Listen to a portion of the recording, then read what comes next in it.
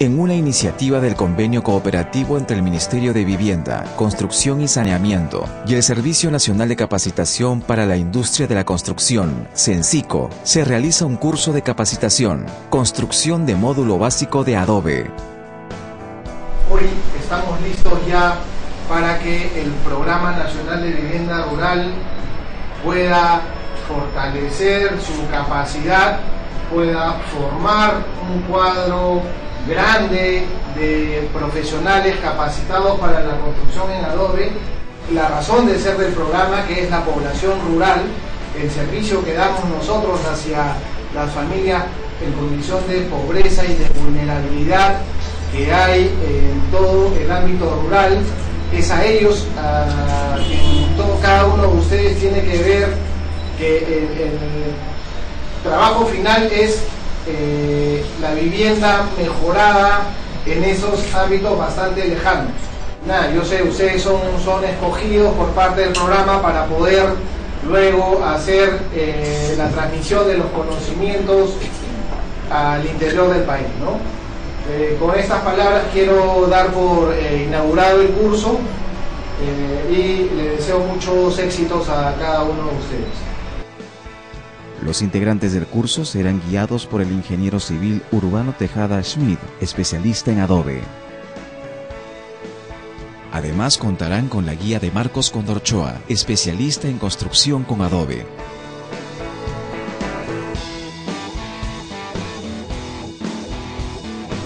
El adobe de Perú es un material que juntamente con el tapial y la quincha constituyen las tecnologías principales que tienen a la tierra como componente principal. El adobe actualmente está siendo usado por unos 11 millones de habitantes en el país. Es un material que resiste muy bien pesos, cargas verticales, pero tiene ciertas limitaciones cuando las cargas son de sismo, que son cargas laterales. Y eh, igual que el ladrillo que usa fierro, el adobe necesita refuerzos que pueden ser de caña, pueden ser de algunas mallas plásticas, inclusive mallas metálicas. Eso hace que el adobe pueda construirse con confianza en una sola planta sin ningún problema y cuando hay necesidad de construir en dos niveles puede utilizarse la quincha para, como material de construcción para un segundo nivel. En el presente proyecto se ha considerado la construcción de un módulo de adobe sobre un área de terreno de 22 metros cuadrados que corresponde al uso de dormitorio. Se comprenderá desde los cimientos, sobre cimientos de concreto y muros de adobe sobre el cual se instalará el techo, puerta y ventanas. Primero se hacen los adobes que consiste en elaborar el adobe previa selección de tierra, realizando pruebas mecánicas como la prueba de la botella, la prueba del enrollado y la bolita. Posteriormente, preparar el barro para elaborar el adobe de acuerdo a la norma vigente.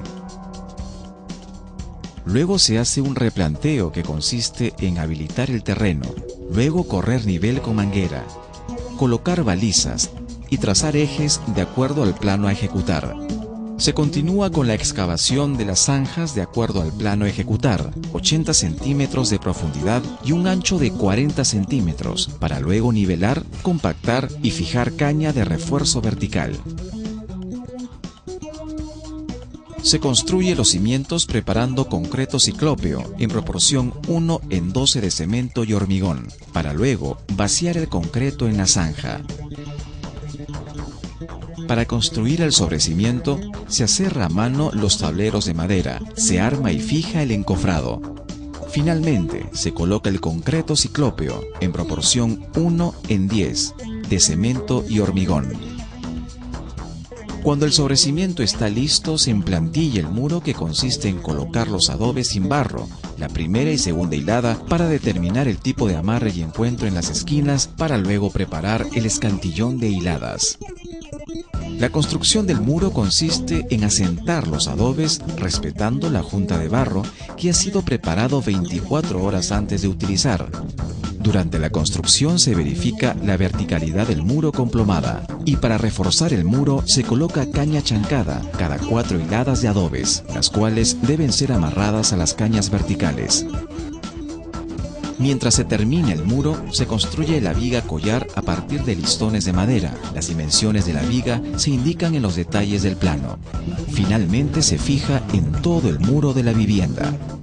Cuando el muro se finaliza, se tarrajea con barro mediante las siguientes tareas. Hacer cintas maestras, pañetear y frotachar. Luego del tarrajeo, se prepara el yeso y se enluce. Para realizar los zócalos se habilita y fija una malla electrosoldada sobre el muro de adobe a 90 centímetros del nivel de piso terminado. Luego se prepara el mortero de cemento, que es una mezcla de cemento y arena en proporción 1 en 4 para colocarlo en el zócalo de la vivienda. Luego se habilita el piso que debe estar nivelado y compactado para construir el piso de madera, que se compone de durmientes y madera machimbrada. Para construir el techo de acuerdo al plano, primero se elabora el tijeral, luego se coloca el tripley y las correas en conjunto con los casetones. Finalmente se fija la calamina con la cumbrera. Luego para colocar la puerta se prepara el marco de madera y se instala en el muro. Luego se coloca la puerta panelada de madera de acuerdo a lo que indica el plano. Asimismo se instalan las ventanas tal como lo indica el plano. Finalmente se instalan los circuitos eléctricos como los portalámparas, interruptores, tomacorrientes y una llave control. El convenio entre Sencico y el Ministerio de Vivienda en realidad es para que ellos se capaciten en construcciones sismo resistentes de adobe. La mayoría de estos jóvenes eh, que son del Ministerio de Vivienda, que son ingenieros, arquitectos, están aprendiendo acá cómo se debe hacer eh, una construcción desde la cimentación hasta la cobertura cómo se debe hacer una construcción verdaderamente este, de adobe. Bueno, el curso que nos está dando Sencico es la capacitación para la construcción del módulo de vivienda. Este módulo se va a replicar a nivel nacional. Nosotros como profesionales que hemos sido seleccionados para este curso vamos a replicarlo en cada una de las regiones que tenemos designadas.